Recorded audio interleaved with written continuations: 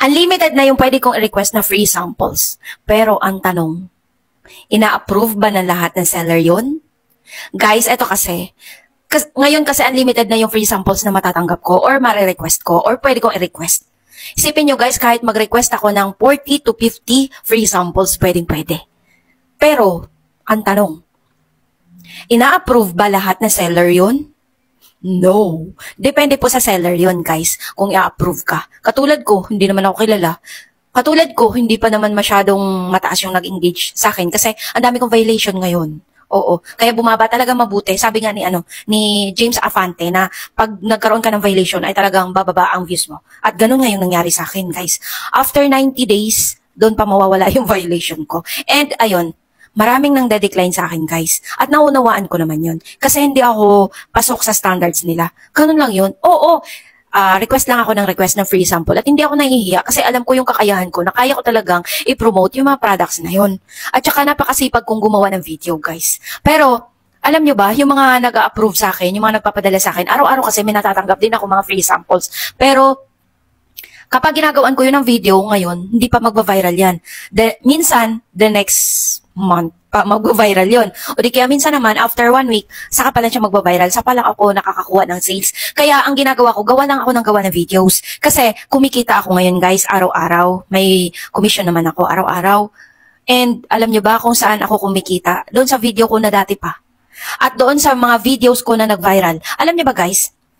Mga co-affiliate ko dyan.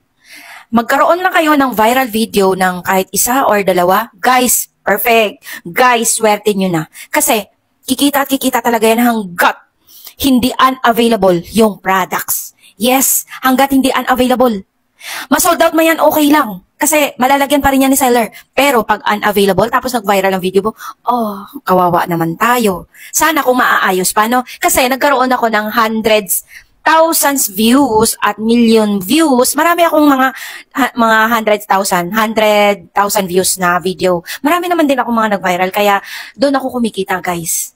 At yung mga million views ko na video, Guys, hanggang ngayon, noon-noon pa yan, noong isang taon pa yan, guys. Pero hanggang ngayon, kumikita ako dyan. Oo, may bumibili talaga, may mga nag-check out talaga dyan. Kaya sinasabi ko sa inyo, gawa lang kayo ng gawa ng gawa. Tanim lang kayo ng tanim ng video, gawa lang kayo ng gawa ng video. Kasi, magba-viral at magba-viral din talaga yung mga dati yung video kung hindi magba-viral yung bago. Hmm.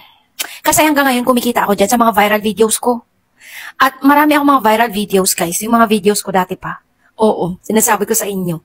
Kaya ako, hindi talaga ako tumitigil sa paggawa ng videos. Kaya yung mga nandeg-decline sa akin na mga seller, okay lang naman yun. Hindi naman ako na ano doon, hindi ako nagtatampo. Kasi alam ko kasi yung kapasidad ko. Kas, at saka mababa kasi yung nag-engage sa akin. So ibig sabihin, no, ang kapasidad ko mababa lang din, 'di ba? No? Pero sana naman panoodin niyo naman at i-share niyo na din ako, 'di ba? Para naman mas tumaas yung engagement ko. Dahil sa violation ko guys, humina talaga, oo. Humina ang views ko kasi dahil sa violation. Ewan ko ba, hindi ko din alam kung paano mabawasan yung violation ko. Pero I think naka-record na talaga yun eh. Dami kong violation guys. Yun talaga yung nakakapagpababa ng views ko. Kasi after ko ma-violate, ha, bumabang mabuti yung views ko. Kahit noong February, nagkaroon ako ng dalawang viral, ay ayun, after nun, nagkaroon akong violation, ayun, bumaba yung views ko. Kaya sinasabi ko sa inyo guys, ang violation ay naandyan lang talaga yan. Pero, daanin nyo sa sipag sa paggawa ng videos. Dahil, after ng violation na yan, 90 days lang kasi yan, after nun, at wala na kayong violation, whoo, magbo-boom talaga kayo guys, magva-viral talaga yan. Basta masipag lang kayo. Ang nagva-viral kasi sa akin yung mga dati-dati pang video eh, kaya doon ako kumikita. Kasi may mga, ano po talaga yun, may mga basket po talaga yun, may mga yellow basket. Kaya yung mga videos nyo, at kapag nag-viral yan, kahit dalawang views, dalawang video nyo lang mag-viral dyan, at laging may product at hindi na unavailable, mm, bongga, kikita at kikita kayo guys, every day. Ako hindi ako nagla-live, bira lang ako mag-live, pero every day naman, mm-mm. Kaya maraming salamat talaga sa Panginoon. Kahit maliit lang yung komisyon na nakukuha ko every day, at least meron. ba? Diba? Kaya thank God. Bye.